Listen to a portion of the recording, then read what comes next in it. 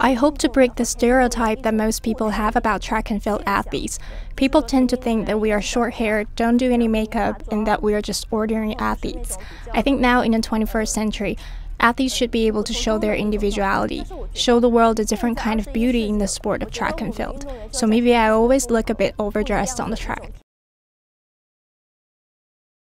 其实当时是一种想象不到的。 I really didn't expect to do that. I entered the race thinking that maybe I could qualify for the Olympics this time, but I really didn't expect to actually do it.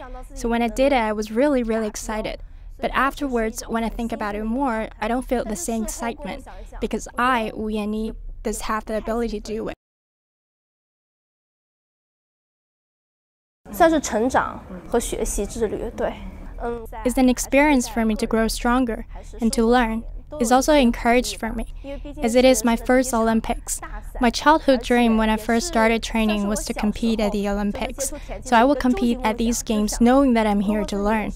We all know that. China and maybe Asia is not very good at hurdles, so I hope that I have the ability to advance to the final.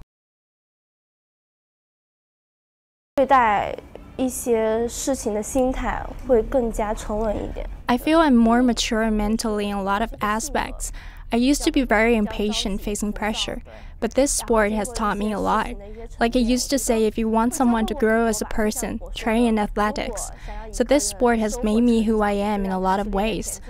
Like what my coach likes to say, track and field is a sport for grown ups. After a while, you will find some true life in this sport. 可能就是失利，这就是运动员失利。Like defeats and injuries are what happens to athlete. There's no way to avoid it. What is really difficult is to live through that and grow from that. Everybody knows what I need to improve on, my start at the race, and my physical strength and a lot of details needs to be polished. Now I still have an injury and I have to make sure it doesn't get worse leading up to the Olympics.